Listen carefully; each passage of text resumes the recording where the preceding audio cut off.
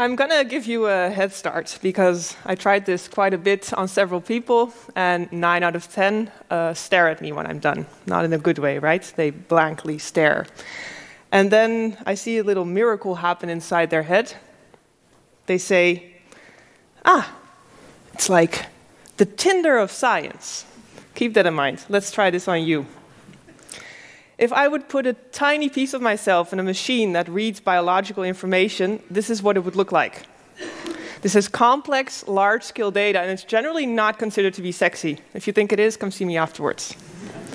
There are clues in this data that help us to predict, prevent, and cure disease. In the example, this specific person is prone to develop lung cancer. Now, we can find these clues with the computer.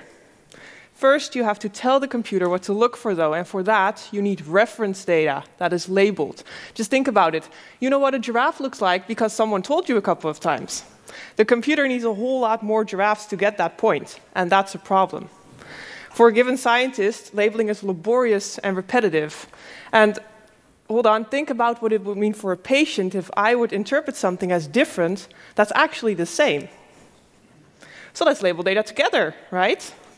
Actually, I'm pretty sure you've done this before. Remember those CAPTCHA prompts where you click all the traffic lights? Did you realize that you're putting a label on data there and that those labels are then used to train a computer? Problem number two complex data is very far off from traffic lights or giraffes.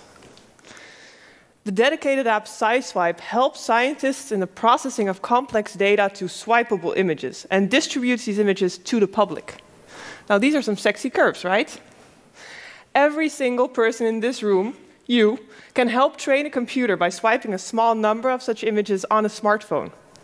Now, the combination of all these small efforts has gigantic implications because a trained computer can mine infinite amounts of data for clues to predict, prevent, and cure disease. SciSwipe is set to revolutionize how academia moves forward with the processing and the mining of complex, large scale data, and how the scientific community involves the public at base level to improve human health.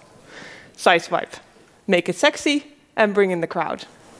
Thank you for your attention.